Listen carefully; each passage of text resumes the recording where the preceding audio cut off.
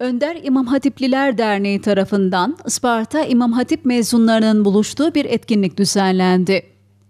Etkinliğe katılan Önder İmam Hatipliler Derneği Genel Başkanı Abdullah Ceylan, Genel Merkez Yöneticileri ve Isparta İl Başkanı Abdurrahman Akcil, Belediye Başkanı Şükrü Başdeğirmen'i ziyaret etti.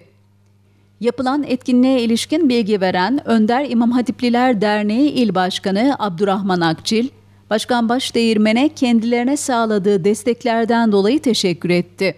Ee, İmam Hatip öğrencilerimiz, mezunlarımız e, mezun olduğu okullarda hep beraber hasret gideriyorlar. Onlar e, bir, hep beraber birliktelikle e, o eski anılarını tazeliyorlar.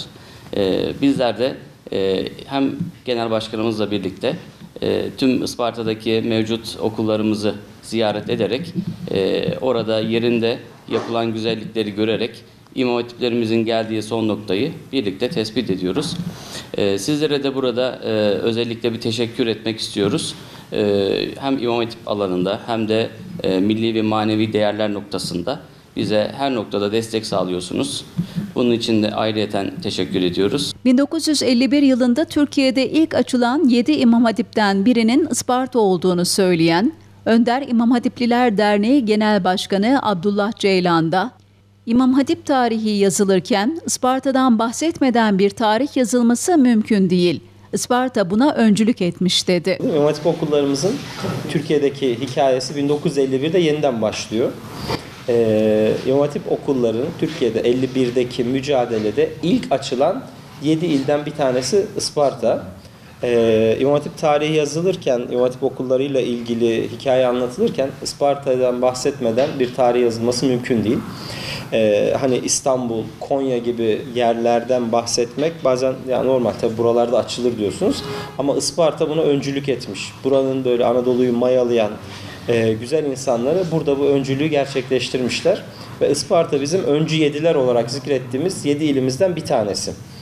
Fakat bir birinciliği, bir öncülüğü daha var. E, o belki günümüz açısından çok daha kıymetli ve anlamlı bir başlık taşıyor. E, İmam Hatip açıldığında 1951'de başlayan serüvende İmam Hatip okullarımız sadece erkek öğrencilere hizmet veren okullar olarak açıldı.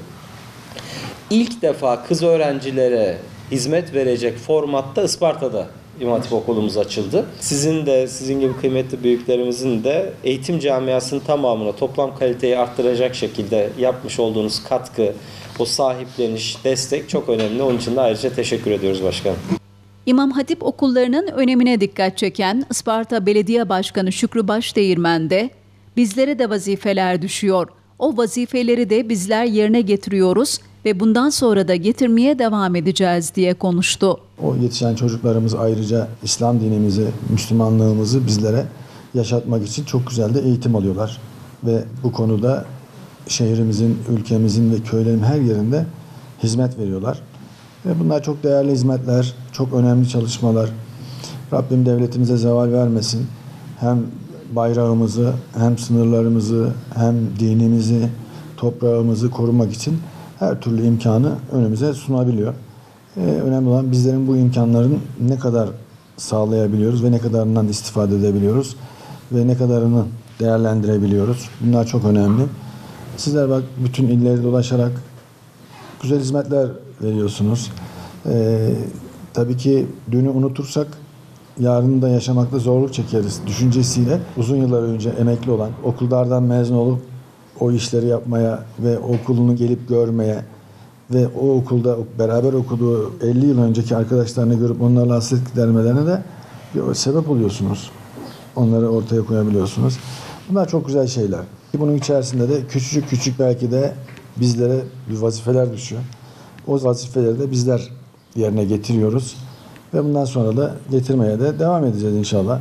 Ee, bizim en önemli unsurlarımız nelerdir? Tabii ki dinimiz, ezanımız, bayrağımız, sınırımız, vatanımız, milletimiz. Bunların hassasiyetinin olduğu her yerde biz varız.